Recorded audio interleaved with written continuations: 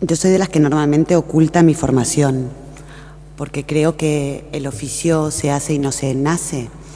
Ah, contrariamente a la prostitución en donde parece que el estigma se te pega en el cuerpo por cinco euros que cobres por un beso. Ah, con lo cual normalmente oculto que soy antropóloga, pero hoy este marco me ha dado miedo, es decir, nunca he ejercido como, como tal.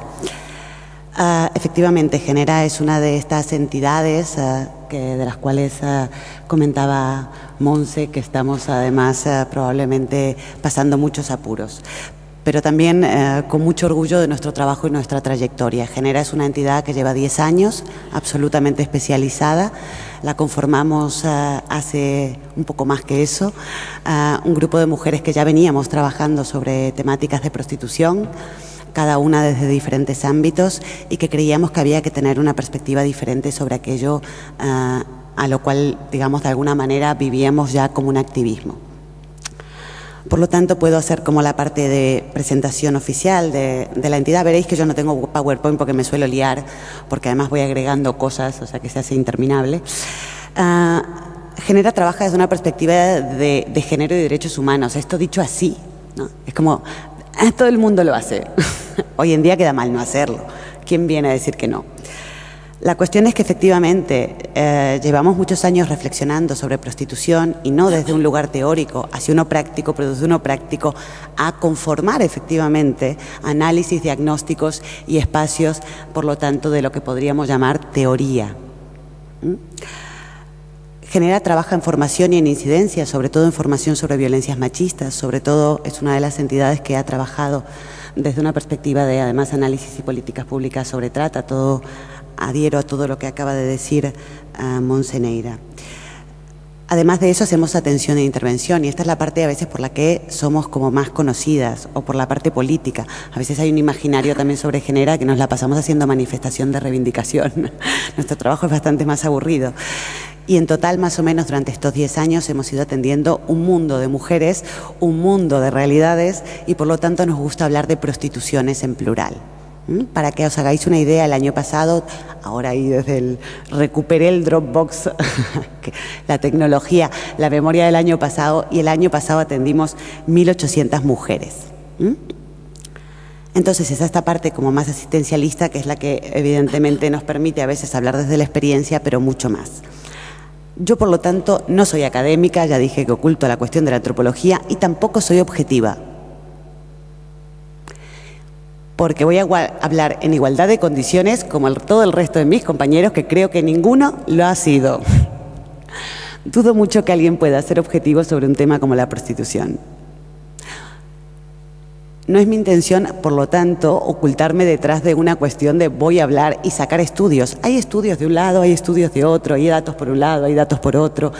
Yo creo que se trata de generar reflexión y de empezar a hablar desde aquello que a mí me revuelve, porque la prostitución en el fondo pone en cuestión género, la cuestión de las mujeres, la cuestión de las mujeres en el espacio público, la cuestión de la sexualidad, la cuestión efectivamente del capitalismo, la cuestión pone tantas cosas en cuestión que nos revuelve. Y si no nos revuelve, es que estamos haciéndonos pasar por matemáticas. Y esto no son ciencias exactas, son realidades complejas que necesitan, por lo tanto, preguntas complejas. A mí me gusta en ese marco, efectivamente, tanto Noemí como Cristina plantearon posturas. A mí me hizo gracia, además que vi que estaba por aquí. Hace poco recibí a alguien que está haciendo un trabajo que me habló de cinco posturas sobre la prostitución. Digo yo, van aumentando, joder. que efectivamente posturas, marcos legales. Los marcos legales no son blancos o negros, no son exactos, no existe esta historia de las posturas. ¿Ah? Hay un cúmulo de grises y os voy a dar un ejemplo muy simple. Una ordenanza de Barcelona, Cristina ya lo comentó, una ordenanza de Barcelona es una ordenanza, por lo tanto, de alguna manera, un intento de regular y de ordenar y por lo tanto de regular el ejercicio de la prostitución en el espacio público desde unos argumentos abolicionistas, porque plantean que pobrecitas mías son todas explotadas y es para evitar la explotación sexual, con un postulado prohibicionista, que es vamos a multarlas. Entonces, ni siquiera los marcos legales son blancos o negros. Sí que es verdad que responden a ideas y ideologías, Pero todas y cada una de las personas que hemos pasado por esta mesa, y, si os venís para aquí también, respondemos a unos grises mucho más matizados que tener posturas absolutamente eh, dogmáticas sobre la prostitución. Me parece que hay categorías para entender y que las necesitamos y pedagógicamente está muy bien explicarlas, pero también hay categorías que tenemos que deconstruir para también poder seguir entendiendo en un momento dado, porque si no nos colapsamos. Hay un eslogan antiguo que dice, antiguo porque ya lleva un tiempo, que dice, ni víctimas ni criminales. Y es un eslogan de los movimientos de eh, mujeres, trabajadoras sexuales, prostitutas, putas, a mí me da igual, ¿eh? Eh, quiero decir, no me marca ideológicamente más o menos. ¿ah? Con lo cual, Ah, que dice eso, ni víctimas ni criminales. A mí me, mm, me, parece divertido porque no lo dicen en términos formales. Es decir, no estamos hablando ni víctimas ni criminales respecto de un delito. Estamos hablando de imaginarios y de imaginarios sociales. ¿ah? Porque una cosa es hablar, y se puede hacer un estudio bien concreto, sobre aquellas personas que sí que han sido víctimas de un delito o han sido, el caso de, por ejemplo, mujeres víctimas del delito de trata, o el caso víctimas efectivamente de mujeres que puedan haber sido, y no hablo de prostitutas ¿eh? o no prostitutas, hablo de en general, mujeres víctimas de una situación de abusos sexuales ¿ah? y de otros delitos, ¿ah? desde una violación hasta, un, en fin. Mm, pero, y también podemos hablar de criminales, es decir, de aquellas que hayan cometido un delito, pero aquí no estamos en esos marcos en realidad, aquí estamos en un marco de los imaginarios. A mí me hizo gracia antes ah, el continuum, porque el continuum de alguna manera pasa de, lo voy a traducir lo que yo vi, pasa de aquella que sí que quiere porque quiere y lo hace y efectivamente es una está ahí, aquella que lo hace por necesidad, que está en el medio, y aquella que lo hace porque está obligada. Pasamos de viciosas, necesitadas a obligadas. Es un continuum perfecto ¿ah? de criminales a víctimas en este caso. Entonces siempre son imaginarios que rodean la prostitución. Y extrañamente en prostitución, desde esos imaginarios sociales se puede ser ambas cosas al mismo tiempo. Normalmente en otras cuestiones no. Pero en prostitución sí. Si, si tú eres prostituta, puedes ser tanto víctima como criminal. Tú te pueden multar por una ordenanza para salvarte de la explotación sexual. ¿eh? Pueden considerar que eres una víctima, como también decía uh, respecto a la, por ejemplo, respecto a la maternidad. Eres una víctima sospechosa. Sospechosa de tener algún problema de salud mental, de disociarte más que probablemente eh, aquellos que ven Sálvame o que la cajera del PRICA ¿ah? tú te disocias más y por lo tanto puede ser un peligro. Con lo cual, a mí, bueno, en este marco me gusta pensar que hay movimientos que son movimientos pro derechos, es decir, que nos hemos de verdad creído aquello de reflexionar sobre género y derechos. ¿ah? Y en ese marco, pues hablamos normalmente de no criminalización, porque no buscamos necesariamente una regulación por libre. Es decir, a mí me llama mañana Rajoy y me dice, bueno, ¿qué? ¿Cómo lo ¿Cómo lo arreglamos? y le digo, no tengo ni idea, espera, que sean las mujeres quienes... decir, se tiene que gestar colectivamente como un movimiento, aquí no es cuestión. Evidentemente sería un reconocimiento importante, un reconocimiento de derechos laborales, pero no solamente. Igual llevamos muchos años hablando de no criminalizar y tendríamos que empezar a hablar de no victimizar, porque la victimización, efectivamente, como decía, más allá de la cuestión de si es una víctima del delito o no, cuando decimos víctima no sabemos muy bien tampoco qué estamos diciendo. Lo digo para que pensemos, no más. Cosas que yo además tengo guarradas aquí anotadas porque todas muy correctas, ninguna falta de ortografía, ningún insulto, en el sentido de cosas que me fueron dando, cosas que fueron diciendo las compañeras y los compañeros que estuvieron antes aquí. A mí me parece que a veces partimos de que la prostitución, entonces decíamos, no es una cuestión de delito, es una cuestión de víctima per se. ¿ah? Evidentemente, basándonos en que por lo tanto, es la cuestión del intercambio ¿ah? entre sexo y dinero, porque además hablamos de prostituciones, de realidades absolutamente diversas, como también marcó alguien aquí en la mesa, es de por sí ¿ah? lo que te condiciona a, además, adoptar una identidad ¿ah? de prostitución en tanto que prostituta y a identificarte y hacer un proceso de construcción identitario desde ahí. Yo creo que el proceso de construcción identitario de la prostitución lo hacemos desde otro lugar, lo hacemos marcando, señalando, desde el estigma, desde la sociedad. Es decir, es aquello cuando decimos ella es prostituta, ella es diferente, ella no es igual que yo. Ella no es una mujer que está en el capitalismo y en el patriarcado, no, yo seré, yo soy marciana entonces. A mí, ah, me parece que víctimas del capitalismo y del patriarcado somos todas las mujeres.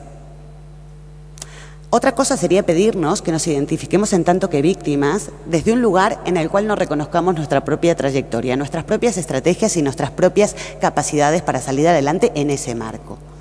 Otra cosa es que digamos y hagamos un rancho aparte, como se decía, ¿no? En la prostitución, que es la excepción. Ellas son las únicas ¿ah? que tienen que además explicar y justificar por qué entraron, por qué salieron. Me gustó lo del profesor de esta mañana también, que dijo, ¿cómo era? Push into the prostitution. Ahí como que te empujan. Esto debe ser el intermedio, debe ser la necesidad. A mí la mayoría de mujeres me han contado, evidentemente estamos hablando de mujeres que ejercen de forma voluntaria, no aquellas que vienen en, en una situación de trata, que efectivamente fueron acompañadas, acompañadas normalmente por una amiga. ¿Ah? Con lo cual a mí me hace mucha gracia esta idea de presión, porque yo siempre la he oído y sentido desde otro lugar, que es el del apoyo. ¿ah? Y la capacidad que tenemos las mujeres para crear redes colectivas, ¿ah? además mm, organizadas de otra manera. Yo recomiendo sobre el continuum un libro de Paola Tabet, antropóloga, aquí saco aquí mi, que es muy interesante sobre este tema. Ella habla del continuum del intercambio ¿ah?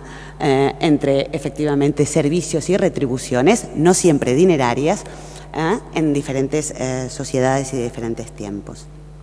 Vuelvo a qué es una víctima entonces. Simplemente una víctima, evidentemente, a veces nos lo tenemos que plantear, pero desde normalmente el trabajo social, asistencial, una víctima es aquella que está en una situación, vamos a decirlo así, de un colectivo voy a poner comillas porque luego recupero, vulnerable.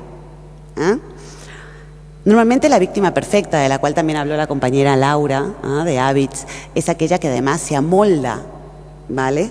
A, nuestros deseos, a nuestros recursos, al itinerario que le hemos marcado. Sobre todo desde trabajo social esto se usa mucho. ¿ah?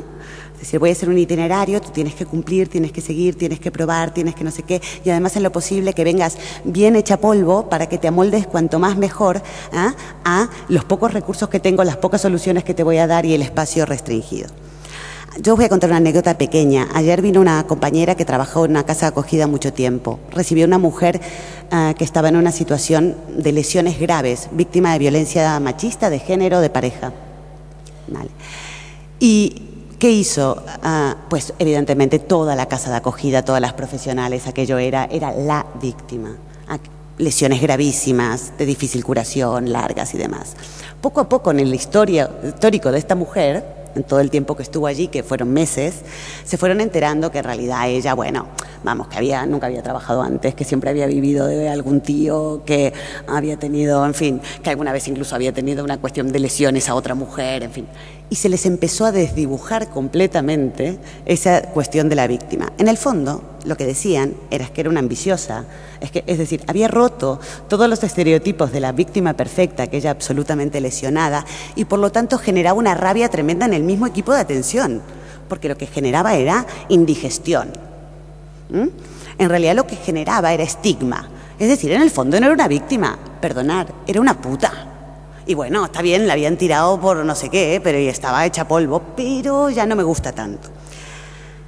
Yo creo que esto incluso lo vemos cuando hablamos de trata, en donde sí que hay una víctima de un delito reconocido desde hace muy poco, por cierto, desde el 2010, antes no la repampinflaba la trata, eran todos discursos sobre explotación sexual que nadie sabía qué quería decir. ¿ah? Por fin hemos situado por lo menos en un delito penal para poder diferenciar ¿ah? qué es trata, qué es prostitución forzada y qué no lo es. ¿ah? Pero incluso así, porque habéis escuchado mil veces desde los medios de comunicación, desde hablar de mujeres engañadas, porque el estigma de la prostitución es tan fuerte que necesitamos, necesitamos que esa víctima se construya mediante el engaño. No admitimos ¿ah? que evidentemente está, comillas, siempre engañada, porque ninguna mujer consiente una situación de violencia y tal como es, de violencia machista como es la trata. Pero nosotras necesitamos que esté engañada respecto a la actividad, porque en realidad si aceptó ser puta antes, es menos víctima, nos cae peor. ¿Ah? Con lo cual veamos como la construcción de esta víctima perfecta, por mucho que digamos que a veces no la tenemos, nos sale. ¿ah? Nos sale porque nos sale en el imaginario, porque nos sale en el estigma que compartimos, porque, señores, señoras, estamos aquí compartiendo patriarcado, compartiendo capitalismo, compartiendo imaginarios, compartiendo estigma. ¿ah? Yo tengo que ir terminando. A mí me me parece interesante esta cuestión, por lo tanto, de pensar que es una víctima, de pensarlo no en términos individuales de trauma o no trauma, porque me parece que las mujeres ya te cargamos con bastante, sino colectivamente. Lo hablaba el otro día con una compañera de Genera, con Carla, que me parecía muy interesante, y conversando yo le decía, en realidad yo he sido víctima de muchas cosas porque vivo en esta sociedad, pero reconocida legalmente como víctima. Yo, como notarán por mi acento, soy argentina y el Estado argentino me reconoció alguna vez hace tiempo que yo era víctima ¿ah? de la dictadura militar por una serie de circunstancias de mi vida. Tanto es así que me indemnizó per se. Si yo he tenido una indemnización, diré, o sea, yo he sido reconocida como víctima legalmente.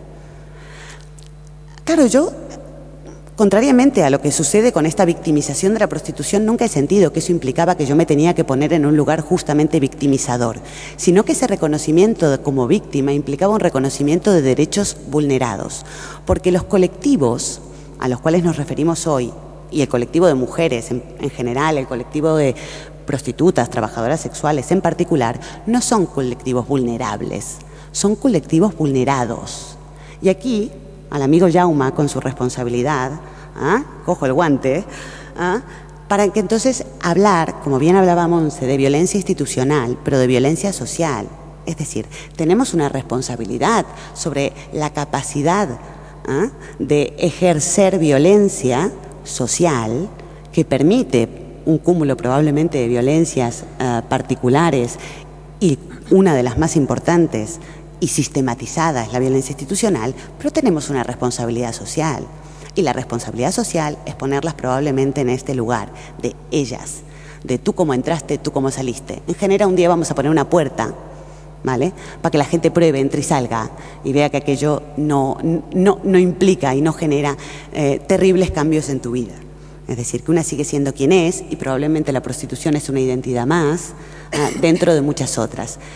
Lo que no significa que sea aquella que además, sí que es cierto, se señale especialmente y por lo tanto se construya especialmente, más desde fuera, desde aquello que nos parece que tenemos que decir que desde dentro. Yo me quedo con estas ideas que intento haceros pensar, por lo tanto, sobre vuestra poca objetividad, igual que la poca objetividad que tengo yo, para plantear estos temas.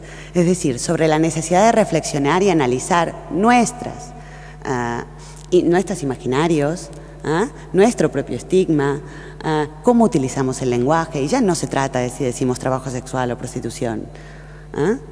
sino cómo estamos construyendo, incluso a partir de ciertos datos científicos, cada vez universos que además pretendemos que sean deterministas y que sean explicativos de, como dije, cuestiones mucho más complejas